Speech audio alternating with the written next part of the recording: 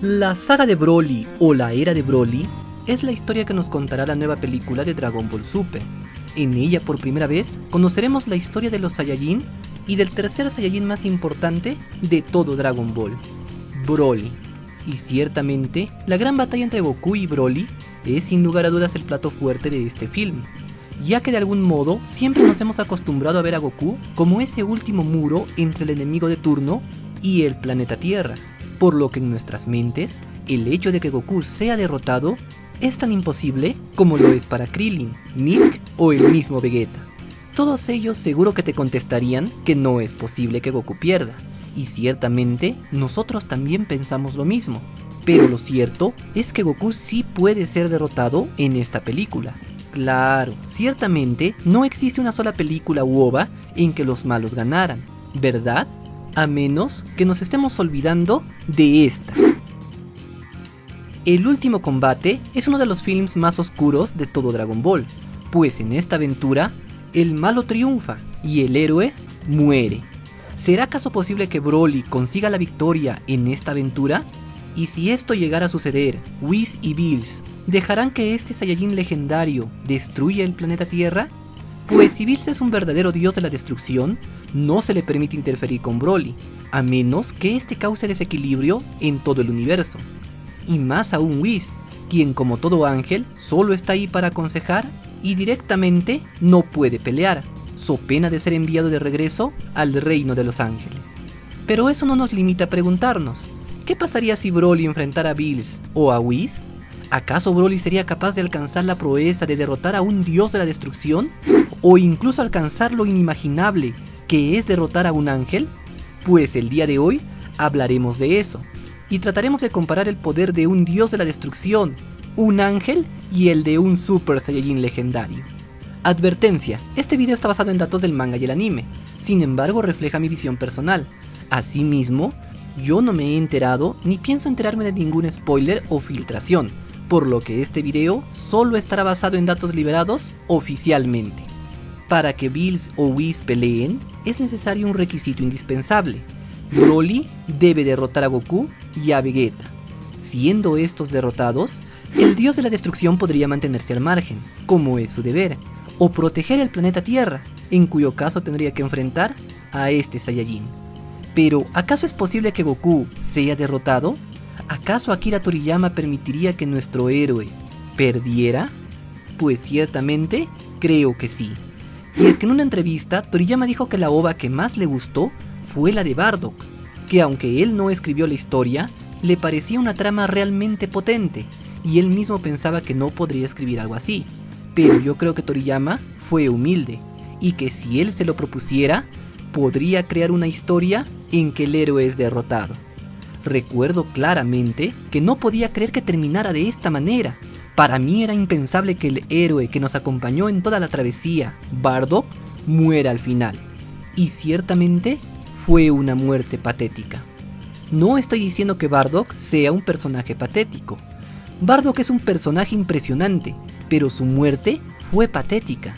De algún modo me recuerda a la muerte del mismo Stannis o Jon Snow en Juego de Tronos, pues teníamos un personaje con mucho potencial, un guerrero que había logrado proezas y cuyo valor y valentía parecían imparables, para que de un momento a otro caiga ante una situación que simplemente lo supera.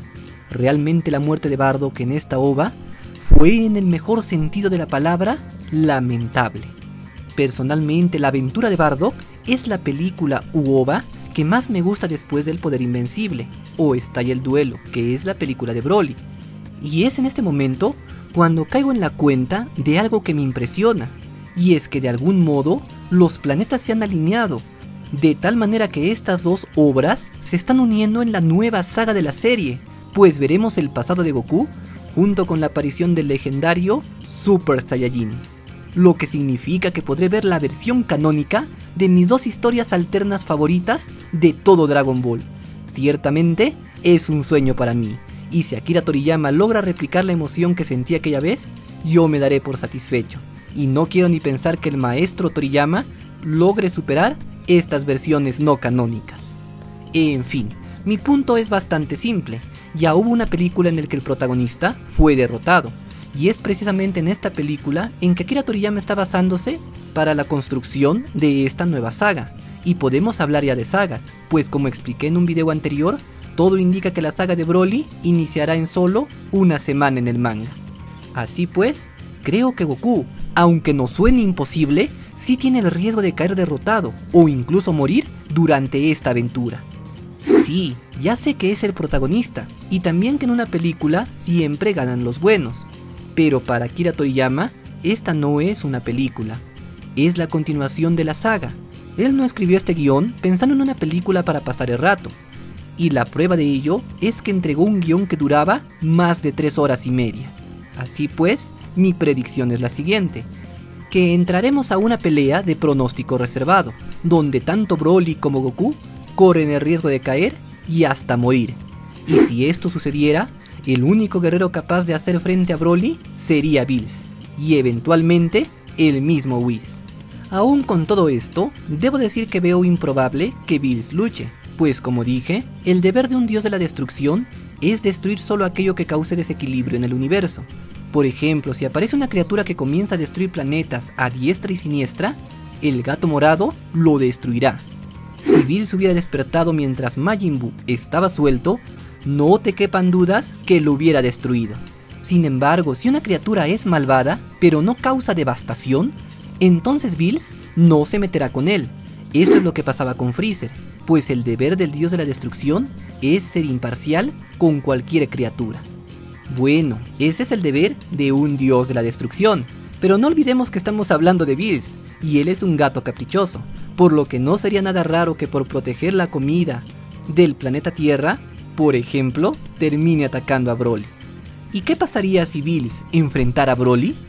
Pues bueno, suponiendo que Broly derrotara a Goku con el Super Saiyajin Blue, entonces pienso que Bills simplemente haría pedazos al Saiyajin. Sin embargo, la cosa cambiaría si Broly lograra superar al Migate no Goku.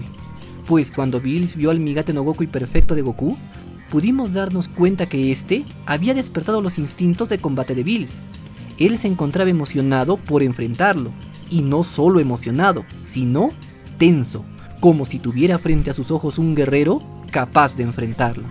Así pues, creo que si Broly fuera capaz de superar al Migate no Goku, entonces sí sería posible que lograra superar a Bills, aunque estoy seguro que no sería una batalla fácil.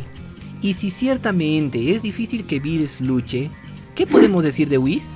Pues la posibilidad de que Whis entre en combate es casi nula, pues los ángeles son completamente neutrales. Aun si su dios de la destrucción muriera, ellos no intervendrán, y menos aún por un simple planeta. Esto ya lo vimos varias veces. Cuando Bills estaba por destruir la Tierra, en la batalla de los dioses, a Whis no le importó nada.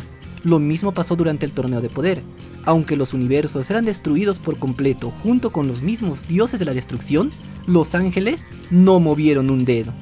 Así pues, queda comprobado que los ángeles son imparciales, aunque en una trama hecha por Akira Toriyama, todo es posible. Y lo cierto es que en el trailer 3 existe una breve toma en que aparentemente Whis está observando la pelea y esquiva el ataque de alguien.